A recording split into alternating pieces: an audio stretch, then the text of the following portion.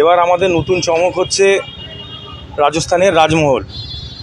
আর প্রতিমা আমাদের হচ্ছে সুরাট থেকে পুরোপুরি সাজ থেকে আরম্ভ করে, শাড়ি থেকে আরম্ভ করে সব কিছুই সুরাট থেকে আসছে।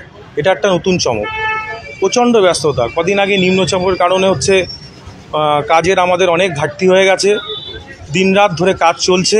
আমরা আশা করি যে হচ্ছে খুব তাড়াতাড়ি আমাদের কাজ শেষ হয়ে যাবে। তৃতীয়ার থেকে চতুর্থ দিনের মধ্যে আমাদের উদ্বোধন হবে। বনগাঁবাসীর জন্য এটুকুনি বার্তা দেবো যে অভিযান সংঘ আপনাদের পাশে সবসময় আছে। আপনারা প্রতি বছর যেভাবে আপনাদের সামনে থাকেন, সেভাবে থাকবেন।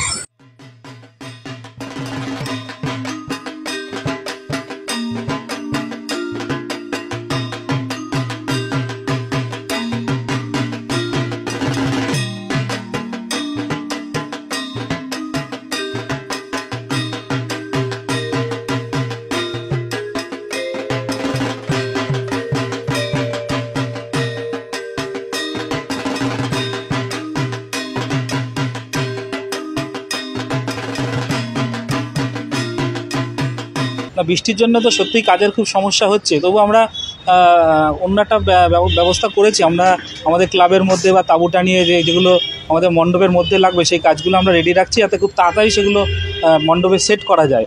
আমাদের কাজ চলছে, কাজ থেমে নেই। তবে সেটা সামনে হচ্ছে না, সেটা বিভিন্ন জায়গায় আমরা তৈরি করে এনে সেট করে দেবো।